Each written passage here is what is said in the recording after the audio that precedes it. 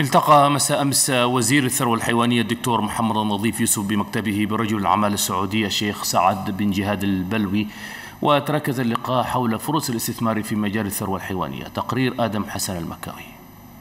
تتويجا لأعمال ملتقى الطاولة المستديرة حول الخطة الوطنية للتنمية التي انعقدت في مدينة باريس الفرنسية يجيء هذا اللقاء الذي جمع كل من وزير الثروة الحيوانية ورجل الأعمال السعودي الشيخ سعد بن جهاد البلوي رئيس مجلس إدارة شركة العمل الأول للاستثمار والمشاريع.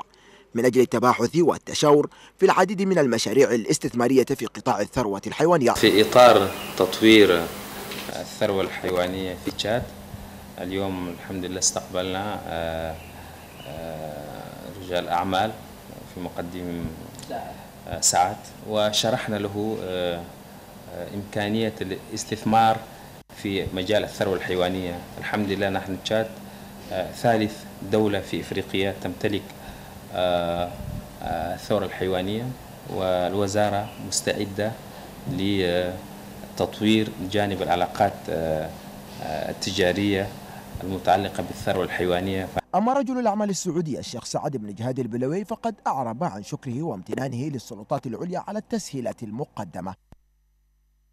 أشكر فخامة الرئيس إدريس ديبي على ما لقيت من تذليلات والصعوبات فإعفاء من الضرائب والاستثمار في الثروة الحيوانية والدواجن واللحوم والتبريد والتصدير لخارج البلاد. كما انتهز الوفد الزائر الفرصة ليقدم لوزير الثروة الحيوانية محمد النظيف هدية تذكارية.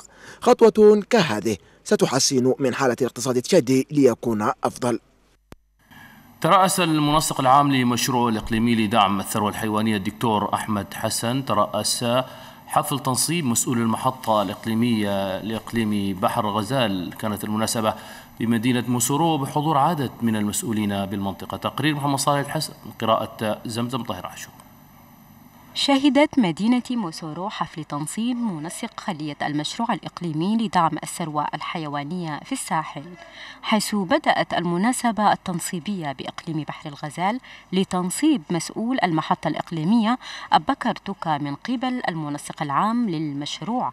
الدكتور أحمد حسن وذلك بحضور عدد من السلطات الإدارية إلى جانب الرجال العسكريين بالمنطقة وبهذه المناسبة فقد قدم الأمين العام الإقليمي لبحر الغزال جان كلود مشيرا إلى أن هذه المحطة الإقليمية لهذا المشروع تشمل كافة مناطق بحر الغزال وكذا جنوب إقليم بوركو.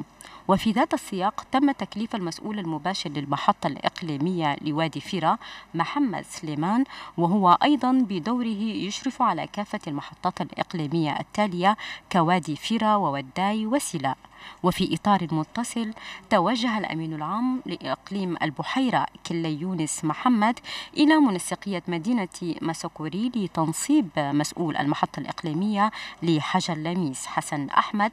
وللتذكير فإن هذه المحطة تشمل ثلاثة أقاليم حجر لميس والبحيرة وكانم.